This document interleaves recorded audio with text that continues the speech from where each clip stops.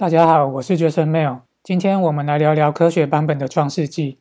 从古至今，人从哪里来，将往哪里去，一直是不断被追寻探索的谜题。关于这个问题，圣经创世纪做了七个一日系列节目来说明，包含了一日照光、一日照空气、一日照地、一日照植物、一日照太阳、一日照动物、一日照人等等。而我们都知道，一日系列荧光幕的背后，往往都是长时间不断的坚持努力与岁月的累积。不要哈啦，OK，切要够，切了。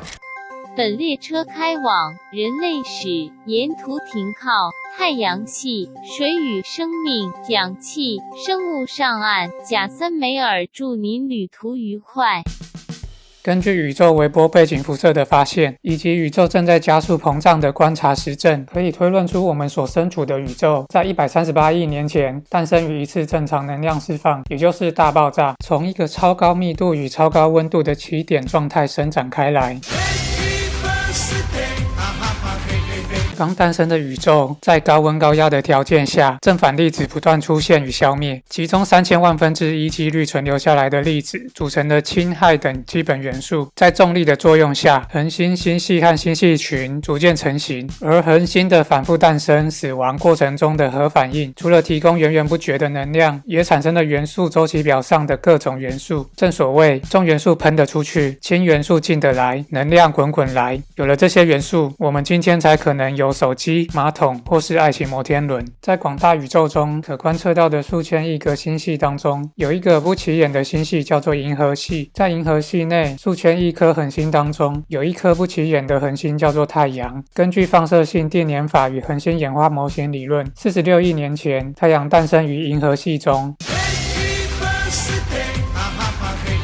而根据太阳光谱得知太阳富含重金属元素的事实，可以推断太阳的诞生是由某超新星爆炸所触发。四十五亿年前，伴随太阳而生的地球是个熔岩火球。根据目前地表上发现最古老的岩石推论，熔岩状态的地表逐渐冷却，在三十九亿年前形成固态的地壳岩石。在板块运动与火山的作用下，地球内部喷出气体，产生了包含水蒸气、氮、二氧化碳、甲烷、氨等等的大气层。三十八亿年前，随着地球持续降温，地表下了一场持续上百万年的暴雨。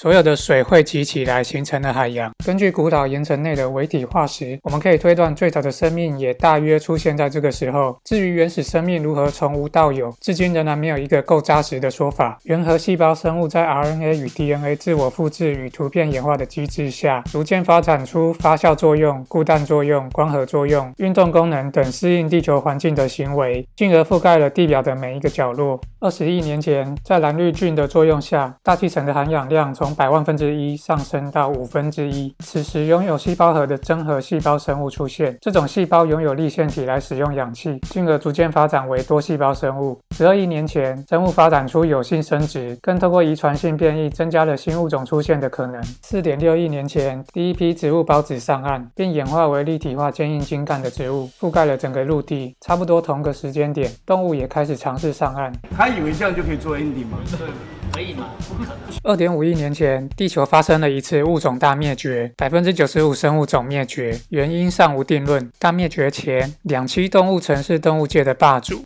大灭绝后，爬虫类快速演化与倍增，恐龙成为全世界的主宰。地球走入大家耳熟能详的三叠纪、侏罗纪、白垩纪。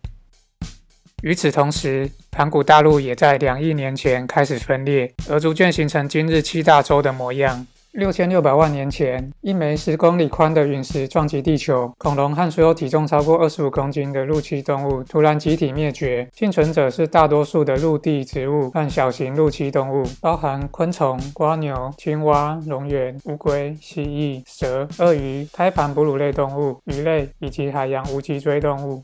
直到两千五百万年前，非洲首度出现人猿。他以为这样就可以做 ending 吗？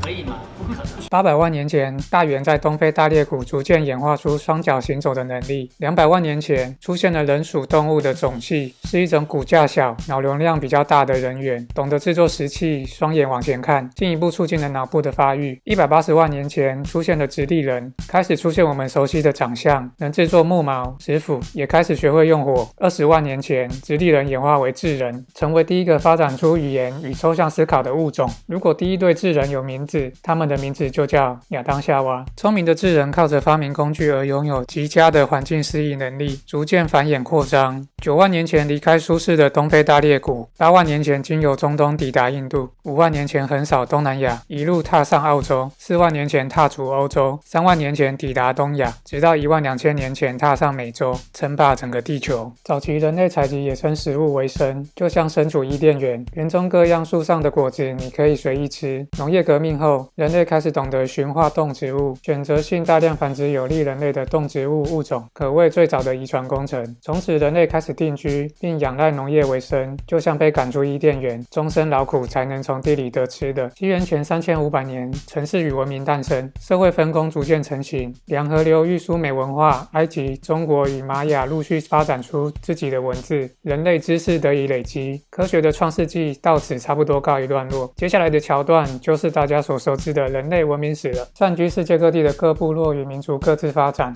碰撞与逐步整合，有的文明被彻底消灭，有的文明。向外征服与扩张，文明之间也不时有正向的连接与融合，逐渐形成能互通有无的世界地球村。人从哪里来，将往哪里去？透过科学的上帝视角，我们似乎有了比较清晰的前半部答案。从空间来看，人类只是可视宇宙当中中千亿个星系之一的银河系当中，千亿颗恒星之一的太阳系当中，一颗小小行星上面的一个不起眼的小点。